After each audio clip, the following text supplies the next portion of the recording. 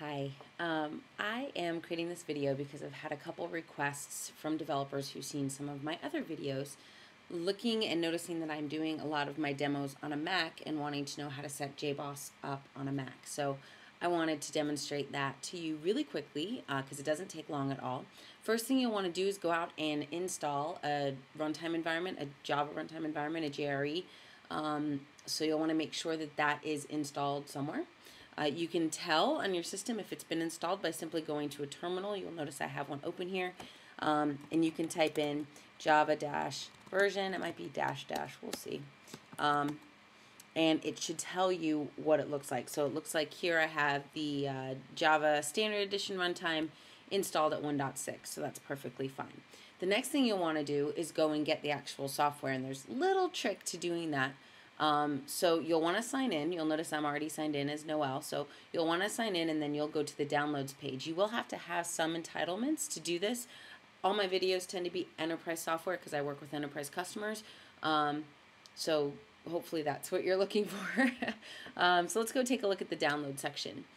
When we do a download, uh, there is going to be a directory list, as you see here, a list of things oops, that you will want to download. Now, there is a tendency for people to look down this list and go and choose application server. Not sure why this is in this list. I think it might be because, um, I don't know why. Maybe it's because it was useful before, but it is not the right place to go to. I'll show you. If you go there, you'll notice that the information there is not relevant to today's version or the latest version that is available.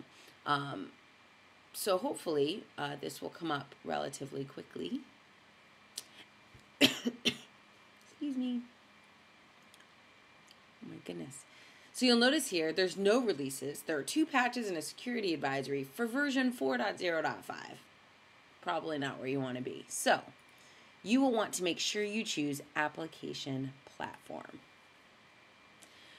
So once you choose the application platform, that's going to readjust this list to be the software that you would expect. Now there are a couple different download options for the software.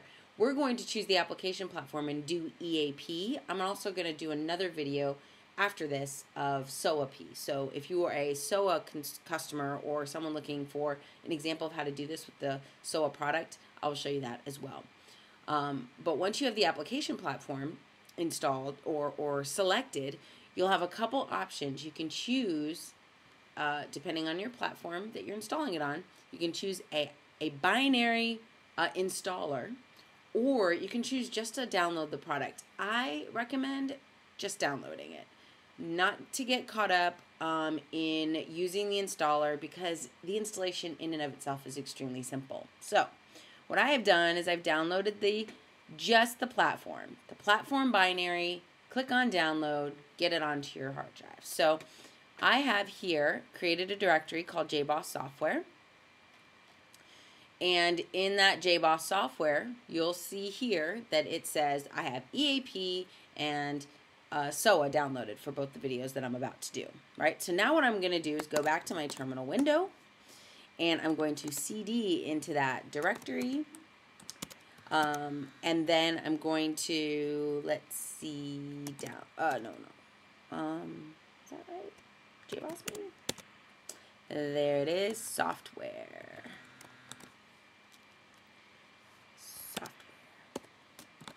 So now you'll see that I have EAP here. So what I'll want to do, of course, is unzip it. Now what you could do on a Mac is simply go here, double click on the EAP version, right? And it'll just extract it for you, which is kind of the easier way to go. right?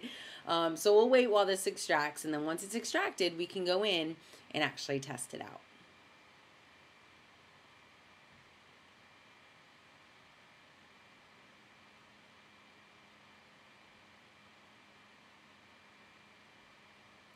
So now you'll see it's extracted and what will happen is, is that it opens up a separate dialog window that shows you that extraction. Not too curious about that. What I am more interested in is the terminal window. So now I should be able to go into the JBoss EAP directory and I'll see the different directories provided by my JBoss installation. So I'm going to go ahead and CD into my JBoss installation and go right into the bin.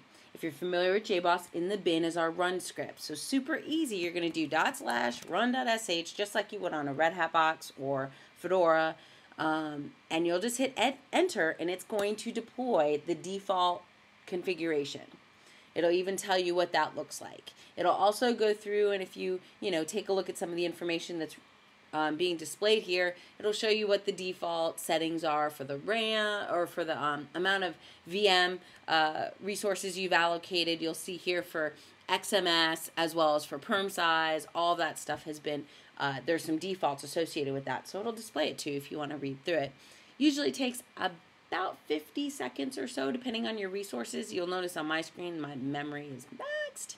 So it could take me a little bit longer um, than that to do but it'll run through. While that is happening, the way to validate an installation of JBoss is to simply go to a web browser and execute a request for that application server.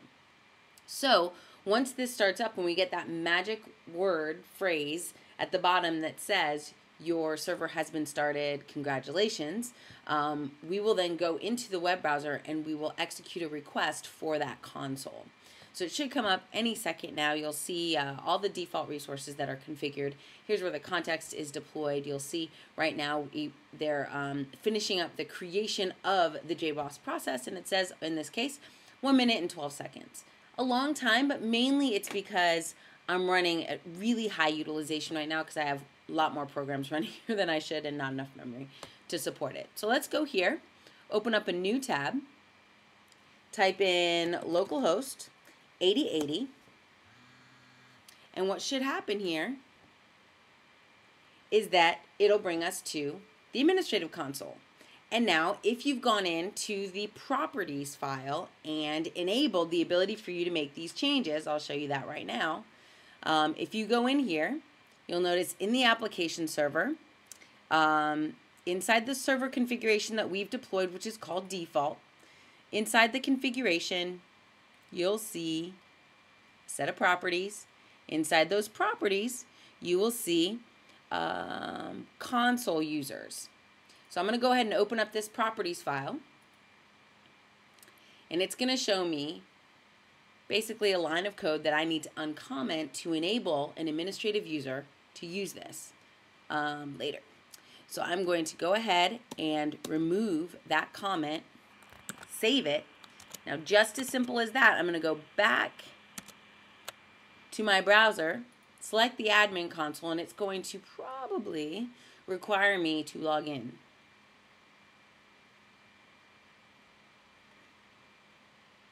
So I'll give it a second.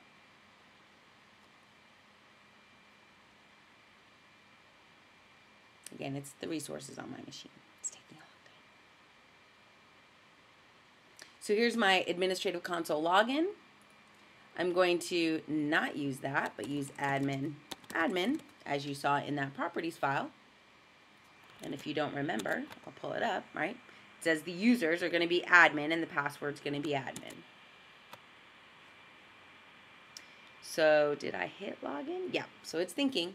So again, the speed is not the best. I understand. Please forgive me. I have a bunch of stuff running and I just wanted to get this video up and out and available. Um, but you'll see it logs you right into the console and you're up and running, right? Very easy, no problem. The hardest part might be installing Java the first time. Um, if you have any questions or any concerns about anything that was displayed here, just give me a holler. Uh, reply either in a comment or send me an email at noel at jbossgirl.com and I'd be happy to respond to you. So I uh, hope you have a great day and I'll talk to you later. Bye.